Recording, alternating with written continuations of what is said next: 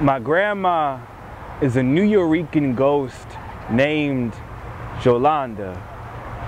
I never got to meet her when she was alive, which is probably why I call her grandma and not abuela. But I can feel her spirit in my father's fire and my sister's face.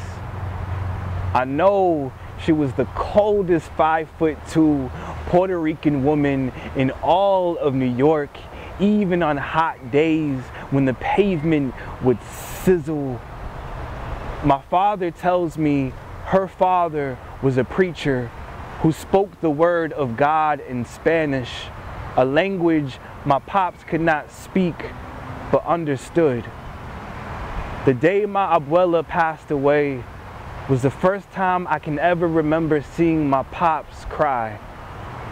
These days, he doesn't go to church, but I know he understands God, even if he doesn't know how to say it.